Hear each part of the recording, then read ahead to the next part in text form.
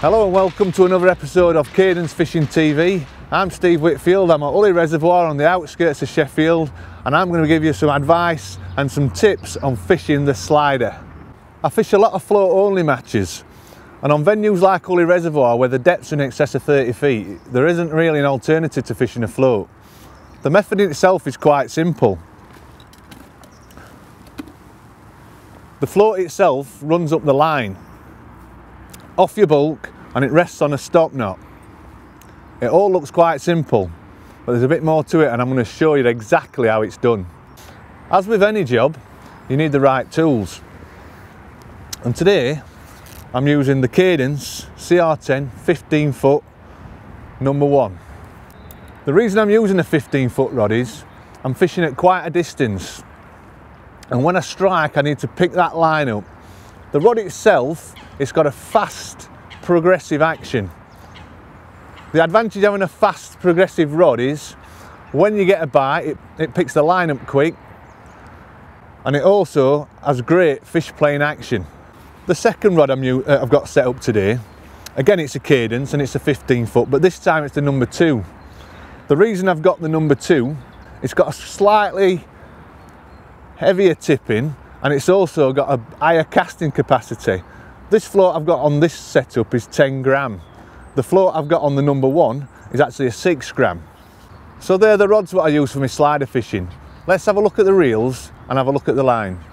The reels I'm using today for my slider fishing are the 4000 size. They're both cadence. This is the CS7 and that's the CS10. If you see there, I've got the line right up to the spool. This is quite important. But when we're casting long distances, you don't want no restriction from your spool. The line on the reel's 014, but I've got that incorporated with an 021 shock leader. What I do for all my slider fishing, I put this 021 shock leader on. This takes all the riggers and the casting, but it also prevents tangles. A common problem people have with sliders, and I see this regular, is people having tangles, and that's because they're fishing too light a line. 021 in itself is quite thick. Eliminating tangles, making it quite easy. It really is important to use a shock leader. If you've ever read a textbook on slider fishing, it usually involves using some of these. Now these are swan shots.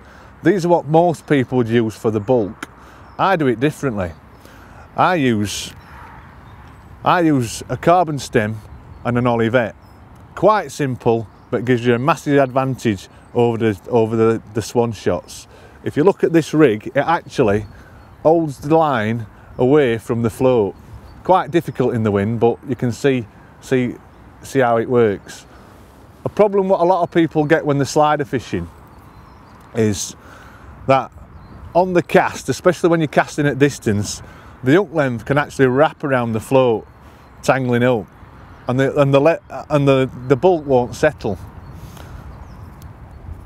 What I've done here, this eliminates it completely, and I've had hundreds and hundreds of casts with this method, and I've not been in a tangle yet. Another very important part of the setup is this number eight swivel. This is where I attach the shock leader to the hook length. It does two things. One, it acts as my last dropper, and it also helps eliminate tangles and spin ups on the hook length. We talked earlier about the float sliding up the line to a stop knot. It's ever such a simple knot, but people still seem to have problems doing this. I'm going to show you, it's quite easy. What you do is you take a piece of line, generally similar diameter to what you've got. They always knot better to the same diameter. That's an 021, this is an 020, simply because it was in the box.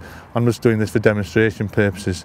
So what you do, you take a piece of line about 12 inches long. You lay it against your line, which is on your main line, and you form a loop. If you can see that there, I've just formed a loop, and it's a simple task of passing the line through the loop. If you see there, it's passed through once, twice, three times, four times. Yeah, and if you draw that together, as with all knots, just give it a little bit of a moisten. You pull that together and there you have the slider knot. Now what you do with that is I always trim that, the, the one that's leading onto the float, I leave it quite sharp, probably about five to 10 millimeters. The second one to me isn't as important. But what you need to do now and again is just tidy that knot up and tighten it up. So therefore that longer tag there just gives you, because it has, they do have a tendency to loosen off. But that's the that's where the float's going to sit up to. And that's just slider knot. So let's have a closer look at a slider float. The slider float I've been using today are partly loaded. This is important because when you cast out, you want the float to stay with the bulk. Another great part of these floats, these DJK sliders, is they've got interchangeable weights as well.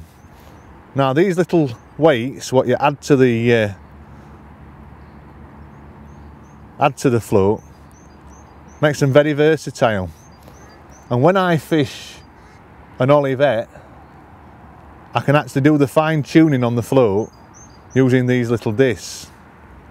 The float itself is very good too because it's got an insert in the top so you can see the shy bites as well. Another great tip is these are interchangeable. So I can also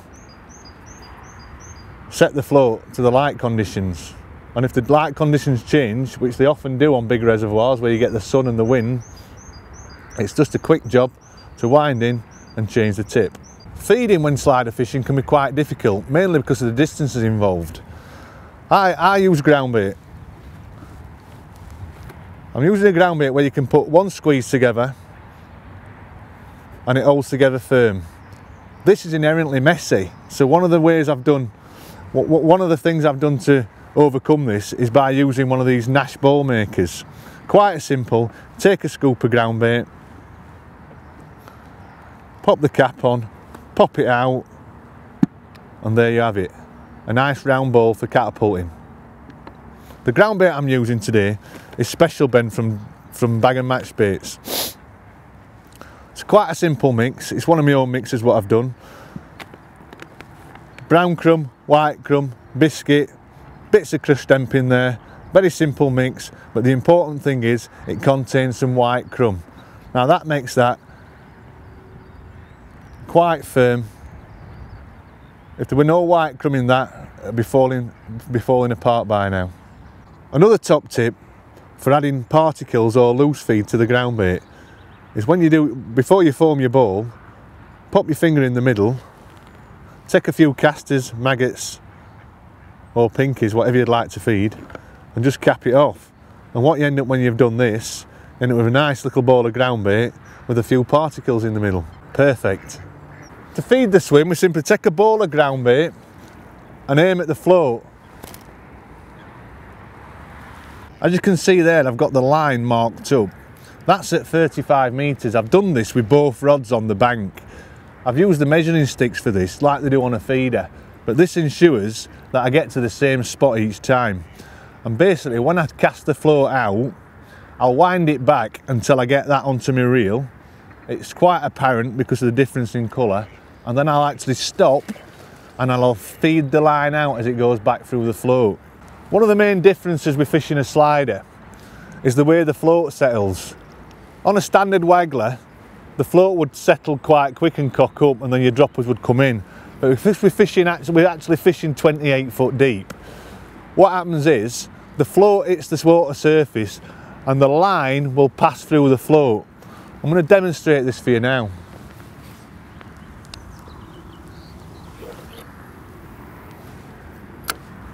Right, I've made the cast and what I'm now going to do, I'm going to wind back until I see my line marker hit the reel, which it has there. And what I'll do now, I'll stop at that point and I'll pay some line back out to the float. You'll see the float popping up now out of the water as the line's actually going through the float. When the bulk gets down to the depth, the float will actually pull over and settle. And it's from that point you're actually waiting for a bite. There we go. Now we're fishing.